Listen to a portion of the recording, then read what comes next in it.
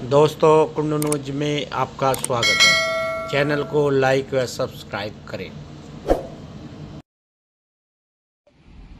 आज दिनांक 9 मई 2024 को एमएमजी हॉस्पिटल गाजियाबाद से थाना भोजपुर को कोई मेमो प्राप्त हुआ, जिसमें यह सूचना दी गई कि ग्राम सैदपुर थाना भोजपुर के निवासी सचिव पुत्र स्वर्गीय वीरेंद्र को मृत अवस्था में एमएमजी हॉस्पिटल गाजियाबाद शाम को ले जाया गया था।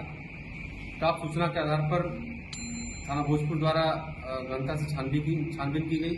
घटनास्थल का निरीक्षण किया गया तथा मौके पर फ़ील्ड यूनिट को बुलाया गया।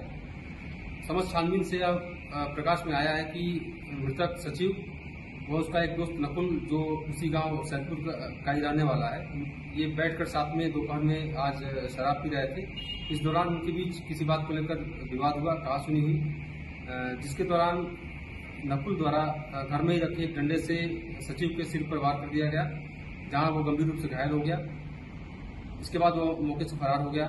बाद में, कुछ समय बाद सचिव का भाई सचिन जब घर पे पहुँचा तो उसने अपने भाई को घायल अवस्था में देखा, जहाँ से उसे लेकर ये एमएमजी हॉस्पिटल गए जहाँ पर सचिव को मृत्यु घोषित कर दिया गया। इसमें प्रकरण में सचिव के भाई अंकुर द्वारा एक तहरीर दी गई, जिसके आधार पर थाना भोजपुर पर अभियोग पंजीकृत किया जा रहा है।